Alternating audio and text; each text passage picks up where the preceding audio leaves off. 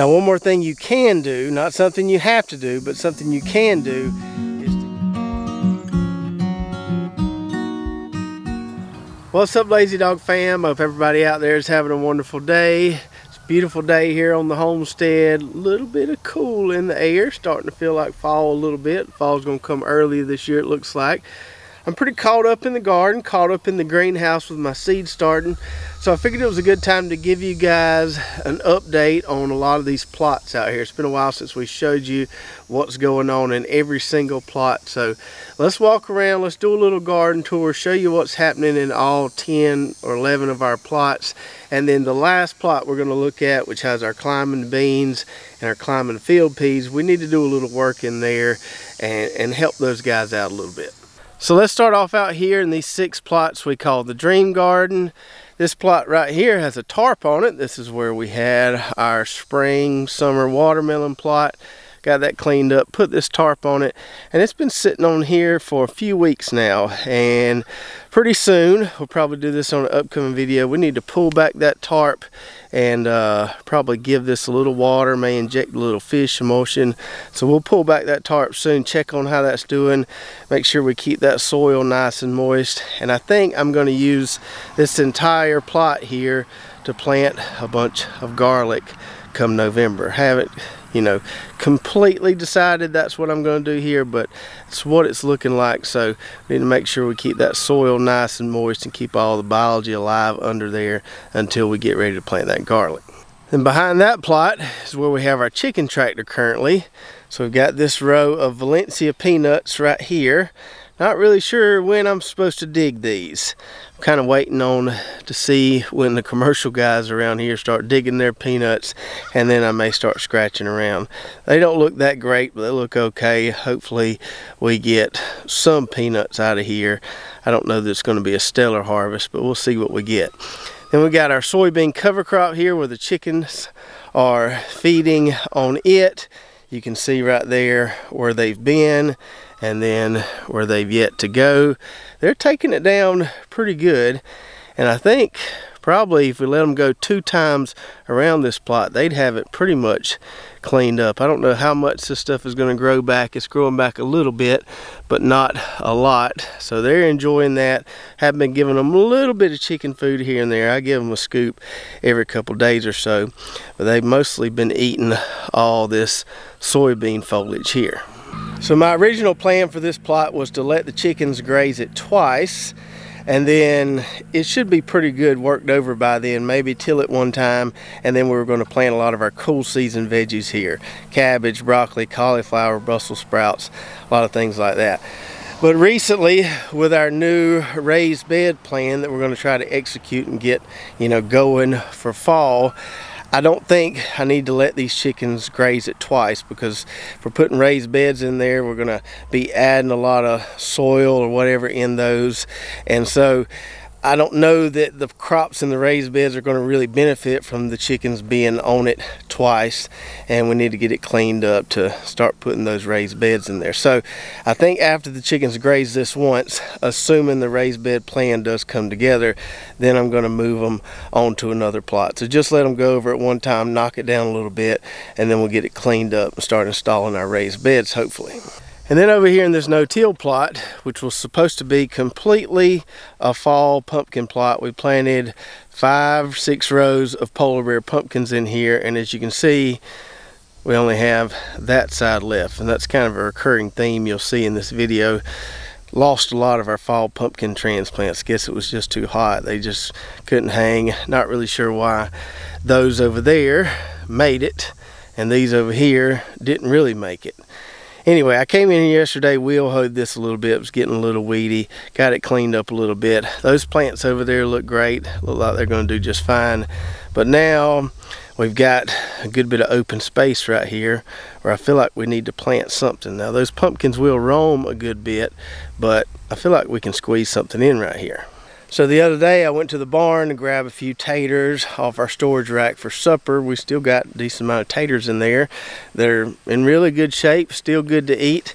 But I also noticed that I had quite a few, some nice sprouts on them like this. And I felt like they were just talking to me saying, plant me, plant me. So I'm thinking that an open space right there would be a good opportunity to try fall taters again. We did all right with it last year. I think maybe we can do even better with it this year. So let me know in the comments below if you'd like to see me plant some of these sprouted taters like this. Show you how we can grow fall taters around here. We need to get them planted soon if we're going to do it. But let me know if that's something you want to see. Then behind that no-till plot, we've got some more fall pumpkins and then one row of peppers still hanging on. These peppers have done pretty good considering I haven't really fertilized them a lot. When we did our soil test back in the spring, this was our most fertile plot as indicated by those soil tests. And these peppers look really, really healthy most of their kind of grow out. But now they look like maybe they could use a little fertilizer. Maybe they've run through all the soil nutrients that were in this fertile plot. So probably going to take some Agrothrive fruit and flower, maybe just kind of pour it alongside each plant, get some of these puppies nice and green again. And then as far as the pumpkins in here, this is the warty goblin variety and we had much higher transplant survival with this variety than any of the other varieties. I don't know if it has to do with the variety, has to do with the plot or what. But most of these made it. You can see we've got a pretty full row there and got a pretty full row over there. Got a few little gaps in there, but most of these made it. Most of them are looking pretty good. Looks like we may have a little bit of mildew onset there, which is just expected this time of year with the humidity. We'll just try to kind of push them through it. Probably need to fertilize these soon. Looks like this variety has kind of a bush growth habit starting off, but I imagine they'll start to vine sooner or later. Really happy with how these are looking so far. We've been keeping them fed with the drip tape. Sometimes on real hot days, they'll look a little pitiful in the middle of the day and then they'll recover, you know, at night and look fine the next morning just you know kind of suffering a little bit when it's really really hot but as temperatures cool these things should get much much happier then moving along here in the dream garden, we got another no-till plot here. This plot's only been no-till for a year or so. Recently did some cleanup in here, but still have a decent amount growing. So I did some cleanup right here. We had a late planting of squash over there that did just okay. Once it got hot, really stopped producing, even though the plants looked okay. We had some flowers right here, got a little eye control. So I mowed that and wheel hoed it, working on getting it cleaned up a little bit so we can plant something there at some point. Our giant marigolds are just still doing awesome, still hanging in there really, really well. Now I think the orange ones seem to be a little more vigorous than the yellow ones. So we planted just as many yellow transplants as we did orange, but you can see we got a lot more orange in here than we do yellow. So the orange seems to be a little tougher than the yellow is. And we have cut these back hard three or four times we need to cut them back again. So it's not like we come in here and meticulously remove every bloom. I just take my shears and come in here and just grab a handful of plant foliage and just trim them back real hard and then they just keep growing back and keep looking more beautiful and beautiful. So couldn't be happier with these having them strung up with that Florida weave really, really helps. That's definitely the way to go with these giant marigolds. And uh, we've just been enjoying these for a long, long time and probably will be enjoying them for at least another few months here until it gets really, really cold. And then this little gap right here, we had some giant sunflower stalks, some plants that were just kind of toast. I got those out of here, got that little sliver cleaned up. And then we have our sweet taters here, which we have three rows, but it's all just kind of merged together at this point. Now, something was eating on these pretty bad, and I kind of ignored these being way over here in the corner, and I shouldn't have. Now, they look better than they did a week or so ago. I sprayed them with some Azera. Seems to be getting better. I probably need to hit them one more time. Hopefully it doesn't affect the actual sweet taters down there in the ground, but something's been working on the leaves pretty hard here. Maybe we can get that under control. I think we're probably getting ready to dig these maybe the end of August, early September. I have to go back and see exactly when I planted, but you know, 100, 110 days after planting, they should be ready to dig. So hopefully we get some good harvest out of here, even though leaves look kind of rough. Then behind our sweet taters, we've got a pretty thick cover crop here of pearl millet. Now, it's nice and thick. It's doing its job as far as ground cover, weed suppression. But some of the plants look kind of rough. I'm seeing a lot of this on top of the leaves there. A little browning there. And I haven't grown a lot of pearl millet or a lot of millet in general. So I'm not sure what's causing that. Not sure if it's some kind of pathogen or some kind of nutrient deficiency in the soil. Not sure what's going on here, but still relatively happy with it because we got the good ground cover there. So this is where the chickens are going to go as soon as they're done making one round on that soybean cover crop over there. I probably am going to have to mow this before we put the chicken tractor on it just because it's so thick. It should regrow back just fine. So we'll put our mower on its high setting knock it down a little bit, put the chickens on here, and let them make a couple rounds. I think this is where we're going to end up planting most of our onions this year. And as far as figuring out what's wrong with this millet here, I've told you before, I'm not one to really chase nutrient deficiencies while a cover crop is in the ground. So what we'll do after the chickens graze it, but before we plant any onions or anything else here, I will test this soil just to see if maybe it was a nutrient thing. Maybe it's not nutrient related at all. But it's something I'm keeping an eye on. I may run some fish emulsion through the overhead sprinkler if we need to water this anytime the next couple weeks. See if that changes anything. But I don't really want to chase it right now. It's just something I'm keeping, you know, in the back of my mind that I do need to certainly test this plot before we plant any onions here. Then over here behind the dream garden on the back half of the property, right here we have more fall pumpkins.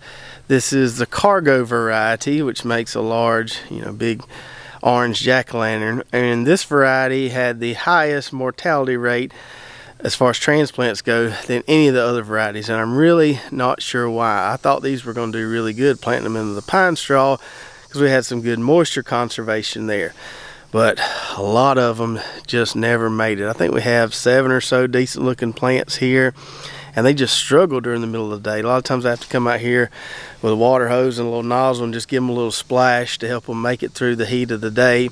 You can see they look a little wilty right now. So I don't know if this is a varietal thing.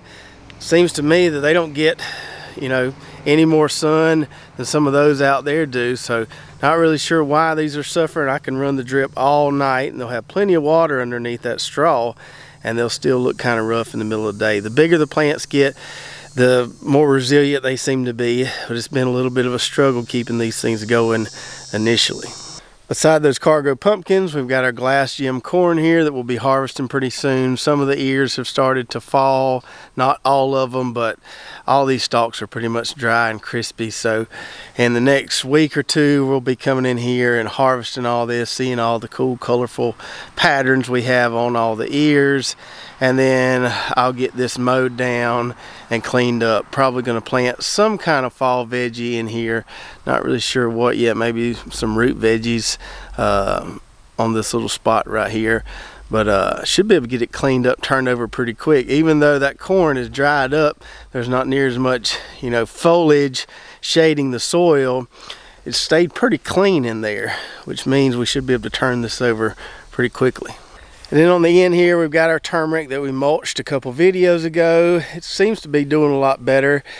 In the heat of the day, it'll curl up. The spot's not as shaded as it needs to be for turmeric, but it's probably the most shady spot I have of all my in-ground gardens. I don't really have any in-ground garden spot that is in complete shade, which these plants kind of prefer. Hopefully they start doing a little bit better as things cool off a little bit. But the weed suppression with the mulch seems to be working so far right now. Probably going to put some pine straw around these when they get just a little bit taller. Just keep trying to smother out those weeds. And in the plot behind that, we've got more peanuts and got a lot of okra. So this row here was our first planting of okra and some of these plants look like they're about done. They never really did a whole lot and I think it had a lot to do with just how dry and hot it was.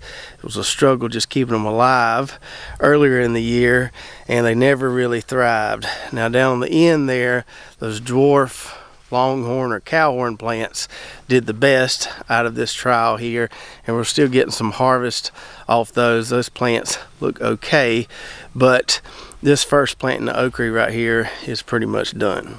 Then we've got our Virginia Jumbo peanuts here, which look really, really good, in my opinion, if I'm comparing them to what all the commercial peanuts around here look like. They don't look quite as good as the big boys peanuts, but they look pretty good, a lot better than those Valencia peanuts. Not really sure why, but uh, I'm pretty hopeful here. I think we're going to get pretty good harvest out of these.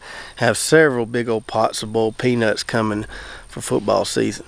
Then lastly in this plot, we got three big, nice full rows of this Ruiz Okra variety. So we direct seeded these.